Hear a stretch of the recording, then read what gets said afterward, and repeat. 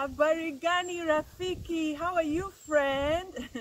so nice to be with you again. Mama Hadithi here and today we are going to sing a song, the song that's in the book uh, Mambo Goes to School. Do you remember the book Mambo Goes to School by Gladys T. Kenfack? Well, we're going to sing the, the song that's in the book.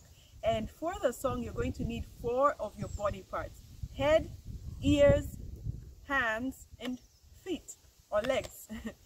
Head, ears, hands, and legs. And in Kiswahili, you say kichwa. Can you say kichwa?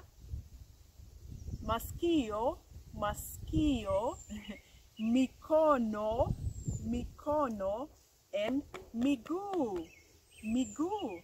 So we won't sing in Kiswahili, we'll sing in English, but just wanted you to know some of the body parts in Kiswahili, okay? So, are you ready to sing? Okay. This is my head that I touch with my hands. This is my left ear that I touch with my right hand. This is my right ear that I touch with my left hand. This is my left foot that I touch with my right hand. This is my right foot that I touch with my left hand. Okay, did you manage?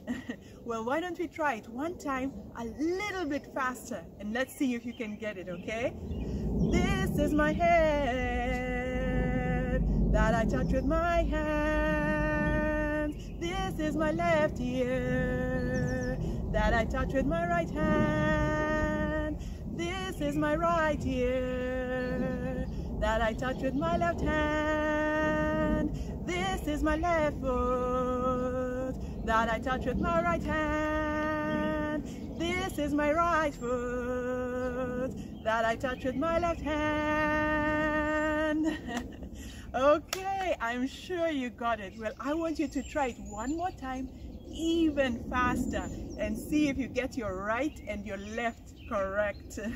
well, I was so happy to sing this with you. Until we meet again, Mama Hadithi saying, Kwaheri. Bye-bye.